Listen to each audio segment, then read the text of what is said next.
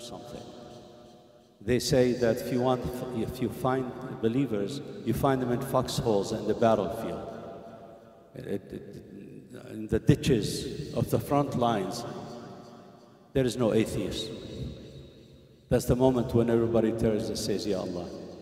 The, the people in, in, in difficulty, when they are stuck with difficulty, that's the moment when they find the Creator. Of course, they can find the Creator outside of that, but in that moment, they feel their weakness. They feel that they have no power. You hear that from people who are a, on a plane that's landing without a landing gear. We hear these stories all the time. All of a sudden, they turn to Allah, Ya Allah, save us from this. Because at that moment, they realize that they're really not sufficient unto themselves. They cannot save themselves at that moment. So here, the Sheikh Sharawi says, له أسلم من في السماوات والأرض. Everything submits to God Almighty. And the question is, why isn't man doing that? كرها طوعا وكرها. What is طوعا and what is كرها? طوعا, he says basically, uh, it, it means willingly, willingly, or without resistance. So for instance, if you took, uh, if you took some dirt and you wanted to mold it into, into a brick or something and you wanted to put water on it or whatever, the dirt is not going to object to that. It has no willpower. That's tawan. Tawan, everything that is used and has no ability to say no. When you go to grab a plant, the plant is not going to resist. Maybe the animals would, will resist when you take them to the slaughterhouse a little bit, but eventually they, you know, they have no power and they become your hamburger in the evening. Uh, th this is taw'an. Taw'an that a lot of the creation of Allah Azza wa in this earth is made for our benefit. Just look around how much there is out there that God Almighty put on earth for our benefit and how little we can do without it. Pay attention to what's going on with China. A lot of the stuff that we use comes from there. It's manufactured over there. Supply chain is about to be broken. In many cases, it has already broken. Look at how much difficulty is looming. They're expecting trillions of dollars could be lost in world gross domestic product or national product because of what's going on. We have, you and I, each one of us has a supply chain. From the moment we wake up until the moment we go back to sleep, look at how much we use uh, during our day. All of this is made to serve us as humans willingly, willingly, without objection. Karhan, the next word, karhan, means things without that are being made for our benefit, for our benefit, and we have no say with their regard, but this is, we're talking about humans now. Take, for example, uh, breathing. When you go to sleep, you breathe while you're sleeping. The air gets in and out, and you have, and it just happens. You have no control over that. It happens, it happens. So karhan is for, for humans, for us. Taw'an is for those that have no willpower. You see? So the system that Allah created for us, whether, whether, whether we have control over it or not, it's for our benefit. Things that we can control and things that we cannot control, it's all for our benefit. And in conclusion, وَإِلَيْهِ يُرْجَعُونَ And to whom? To, to him they shall revert on the day of judgment.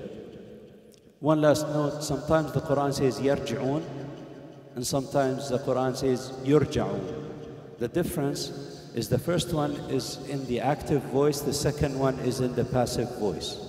Yarji'un usually is used in the Quran when it's talking about believers and how anxious they are to meet Allah.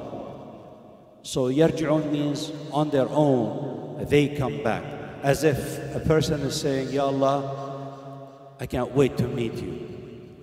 That's yarji'un. That's the active voice. So if we were all to leave willingly right now, it's yakhrujun.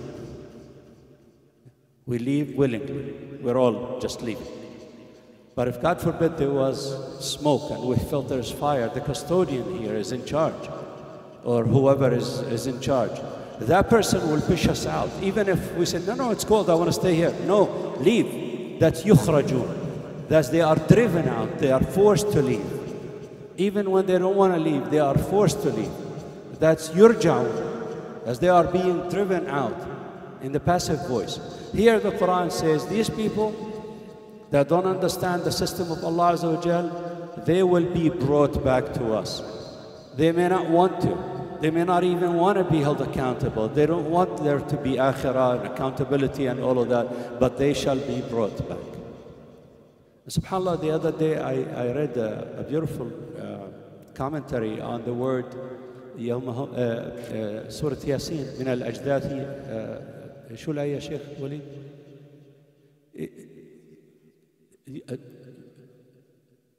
هذا نعم الآية تتكلم على الأجداث من الأجداث people there, this ayah says on the day of judgment in Surah Yasin they will be brought back from Ajdath if, if you read the translations Ajdath is translated as the graves right but actually the graves is Al-Qubur Al-Qubur so it can't be Al-Qubur So this Mufassir is saying Al-Ajdath, they will be brought back from Ajdath. Ajdath cannot be Al-Qubur, it's a different word. And they, this Mufassir claims that Al-Ajdath is really the particles from which we are made. It's almost like anything that has our DNA.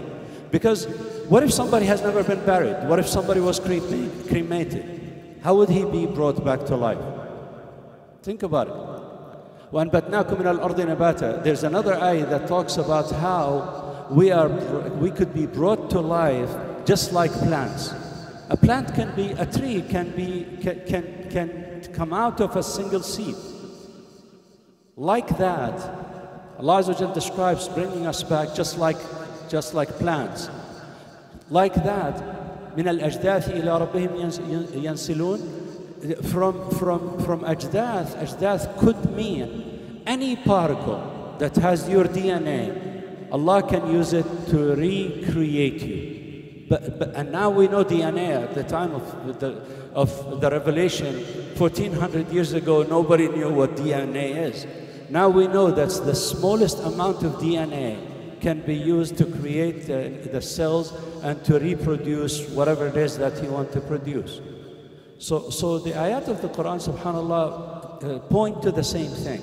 That whether, whether you are buried in whole, as a full body, wrapped up and buried, or cremated, or uh, uh, stuffed like the pharaohs used to do, no matter how you are on the day of judgment, Allah will bring you back. And that's what ajdath is any, any, any particle left from your body that has your DNA will be used to bring you back, just like a plant is created, is, is, uh, is raised from uh, a single seed. So I'll stop here. Uh, there's a lot of concepts. I don't want to burden you with, uh, with, uh, with more.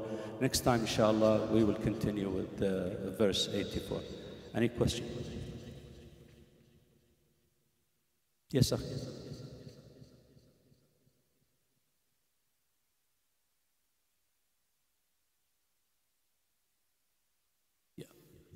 Yeah. Subhanallah, yeah, that's a good point. But since the Quran uses the word min al ajdath, the Mufassirin wanted to know what is al ajdath. The easy explanation is al ajdath al qubur. It's the same thing as, as, as, as graves. But what if somebody was never buried? Nowadays, the latest thing is cremation and you know they want their particles thrown in the sea and all of that really do they really think that if they were cremated or if they died in some kind of an explosion and their bits and pieces were scattered however people die right does that really mean that that allah will not be able to put them back the quran points nope allah will bring you back Nowadays, we know this thing called DNA can be used to basically recreate the entire creation. Allahu Alam. Is enough. Yeah, yeah. Yeah. Yeah, yeah. Yeah, Ruh, of course, is uh, يسألونك عن الروح كل الروح من أمر ربي. That ayah basically tells the whole story. Yeah. جزاكم الله خير. إذا أراد شيئا أن يقول له كن فيكون. But, but remember, that's true. That's true. That's true. It, it, again, the language of the Quran is to bring all of these closer to our understanding. Just like using the word fasiqun uh, to express what, some, what somebody leaving, uh, not believing looks like. Subhanallah, Allah Azza uses these terms, ajdath, uh, uh, to bring to our mind a picture of what things would look like the, the Quran uses physical things to express, ta uh, or tangible things to express uh, abstract concepts that are hard to, to visualize. Wallahu alam. Jazakumullah khair. Assalamu alaikum.